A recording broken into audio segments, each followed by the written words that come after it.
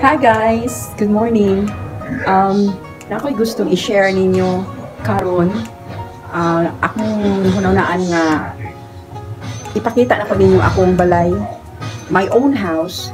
Kaning magong kaning kaning balaya ni this is my parents house. Ancestral house na mo ni. And uh, mo adto ta dito sa Pikas Balay mo to gihatag sa akong parents na ko nga lot na akong gihinahinayan og gama og balay. So, mo ato ta doon ra man gud mama og balay sa akong parents. So, I just want to share this to you.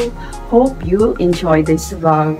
So, welcome to my vlog guys. Don't forget to subscribe this channel and share, do comments about anything you want to question about anything, sa yung mga nakita sa akong, akong vlog, I'm willing to answer it.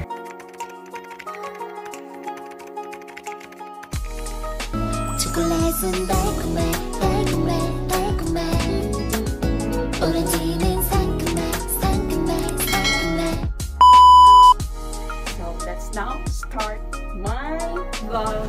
Silingan naman ni Mama, so pagawas na ta. Moadto sa tas terrace, sa taas. So, terrace nila Mama para ipakita na ko ninyo nga ma ma makita naman sa gawas ang balay na ko. So, pasaka na ta. This is the stairs going sa taas sa terrace ni Mama sa and my papa parents na ko. So, pasaka ta. Ato na ta sa taas. So, mo ni siya ang terrace sa akong parents. So, oh. So, see. Sorry guys, kaya na ay hangya. So, di- mo ni ang view sa terrace sa balay. Then, tapos kang ilibot ha. So, mo ni makita. There. Oh, ang dalan, the streets. Narito ang dalan sa Tumoy, narito ang dalan. Then, among mga neighbors. There. Among neighbors na naata sa taas. So, mo ni makita nato. Ah, naog na ta. Baliktad ka naog. Pero ako sa pakita ninyo ang akong balay nga gigama sa pikas. So, makita naman. So, kana kana na nangta. Ang ubos ana mo ni balay nako. Ako adyo na kanang yuta gihatag sa akong parents dayon kanang balay ako na kami ni gagama ana. Pakiton mo na ako sa balay nako and kung akong i-share niyo how yun sa ako siya pagama from the very start. So, naog na ta. So, now, magawas na ta sa aming balay. so, ato na ta sa akong balay nga yung ginama. That was kung ang nadugay na ni na kung start kag gama ning balaya ni dayon grade 26 years old na akong eldest ron gisugdan ako ni gama mga grade 5 pa siya. So, unsa na marong tuiga. So, mani ako gama ng balay. Mga how many years but So that's that is the view of my house. Ako. Daga na kaisyag tanong ron. Dako naman akong nangka.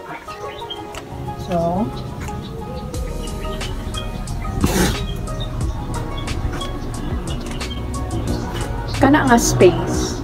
Ako nang plano ana magama ko extension another room. Pohon that is what I'm planning. Kay na pa may space. Na ko ipakita ninyong tanong na ako. Snake plant! Sa ngalan ani? Yung mga tanong man ni and the butterfly. Butterfly nga plant. Then kani. Then kani So, mo ari tag mubalik tag gawas. So kani siya nga. Kani siya. Kani nga tiles. Koy gagamaan ni yun. Gi-hands on ako ni nga tiles. Every day kung magkatapos mga bata from school pag abot na ko dire makapalit ko mga 20 pesos nga kaning box, one box. Hinahinay na ko siya palit, then gigather na ko siya, yabo na ko siya sa daplin, dayon. Kung na ako'y time, magagama ko, ani. So, kani nga door ako ning gipagama po. Kani ako ako'y gagamaan ni nga tiles. I started this house, mga grade 5 si Antonio, karon 26 na siya. So, mga 10, 6, mga 26. So, 18 years. 18. Mga 18 years ago na start ta na ako ni nga. Hinay-hinay. Mga elementary pa sila. I have my Virgin Mary here. That's my Virgin Mary. Kanang uh, gruto. Kanang bato diha. Ako'y gab gabutang ana. Kana, di ka katuo but I really made that grotto. Gibutangan pa na nako siya og kanang wood sa ilalom, then gigamaan ako siya butang sa minto. Then hantod na himo. Kaning kaning bato dire, wala pa ni nako mahuman jud. Ako po'y gagamaan na, ako'y gabutang ana, wala mahuman oh. Wala mahuman. I kung ana ko siya ni kolekta na ko siya ang mga bato every day pagkikan sa school, gatod na ko mga bata, pag abot na ko diri, mag-collect og bato kay kini nga place ang angatan tabuk tubig? Among place is naay daghang mga bato-bato dito because naami sa sapa dapit. Pero ang among area ang among lot naas taas na diri at, at uh, there's a road na ami sa Pikasay na ang ang sapa dito sa Pikasay po so this is a residential area. Kining diri sa amo ang pangpalit ni ng tanan. Kani usually gapuyo diri mga tag iya gyud sa mga yuta And uh, happy kay ko because swerte ko po kayo kay I have my parents nga naka sunod ko kay kung wala pa my gosh. So, itagaan ko yuta. So, ako nalagyan ng hinay gama. And I'm so happy nga kaning nahimo din siya nga bahay. So, daghang story ani kay daghang story ani kay kaning gruto ako gagama nya ang sa sulod sa balay, gihinahinaya na ni siya ni Antonio. Pagkatrabaho na niya, nakatrabaho na siya, ni-contribute siya, gigamaan niya ang mga salog, giusog niya ang CR.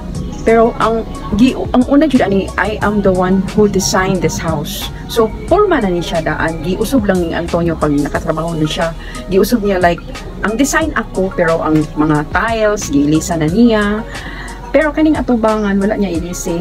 Kaya ako adyo ning uh, gigama. Wala ni na ako gipailis niya. Kaning French window ako pud ani ga order then so kami kay ang feeling bitaw nga katong time nga gabantay pa ko nila ga gama po ko at the same time kung na ako'y free time maginahinay ko buhag bato dito sa sapa then akong gigather then akong gipilit-pilit diri.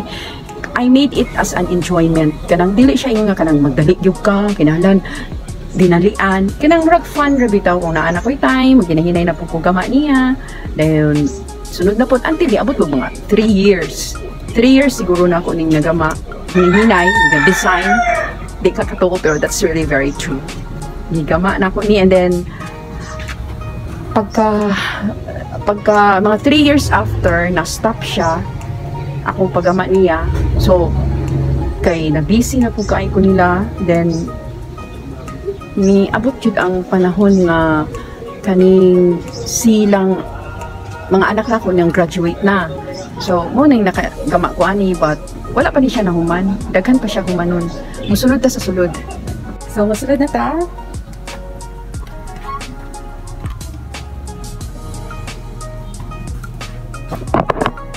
So,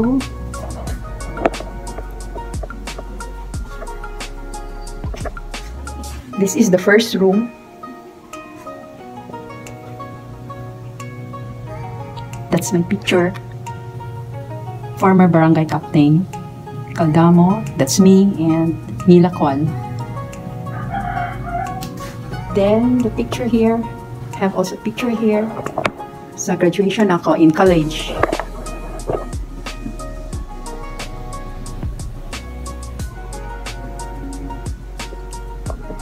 Kita ra ba? Then this is the second room.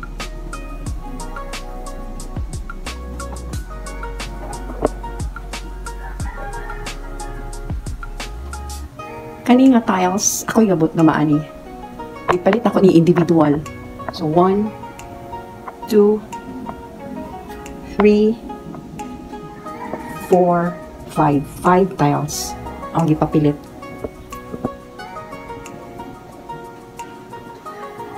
Diri po para balance.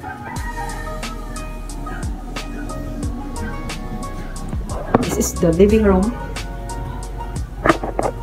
Then, katulong nga room. This is the third room.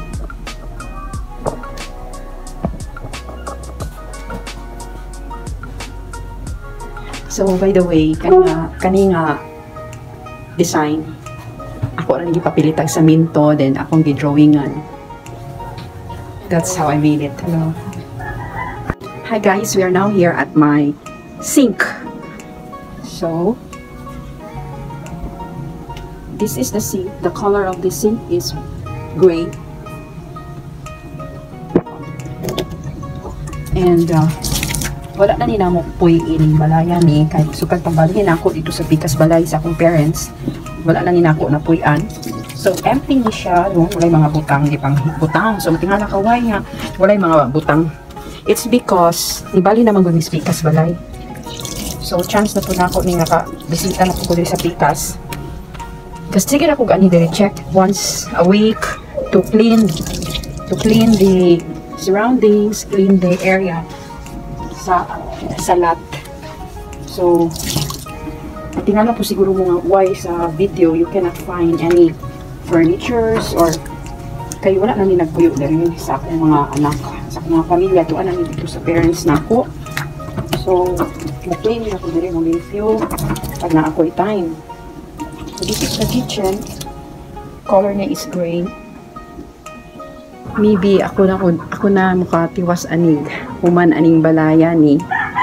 So this is the part of the kitchen. So kung sa CR, we'll go to the CR.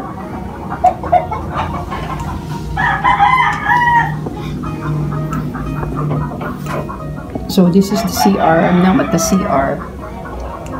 So this is the tiles that Antonio renovate the CR. And so this is the bowl flush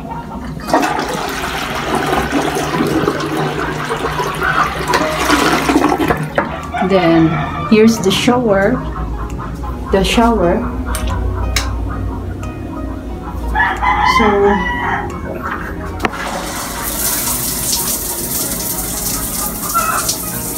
So that's the shower. So, talungan na nato.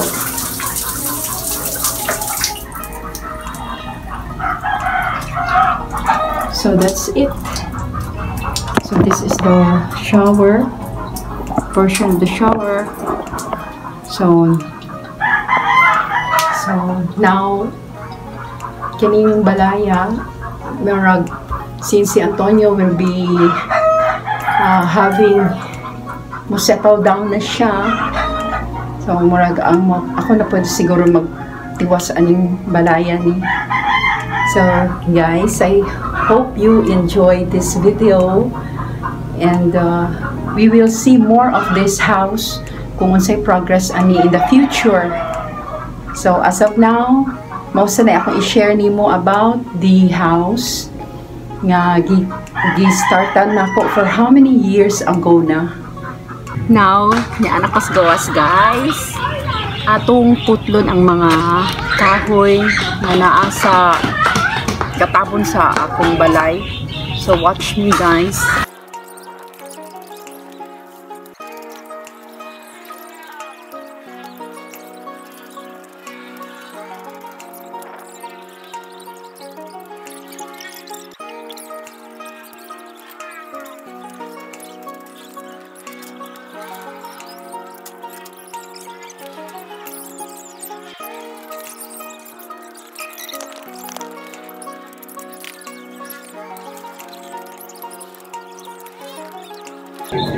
So that's the house.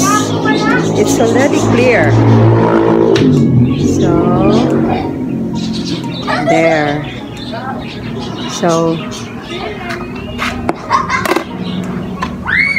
this is my house. So don't forget to subscribe and do comment and share this vlog.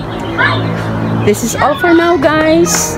Hope you enjoy my vlog.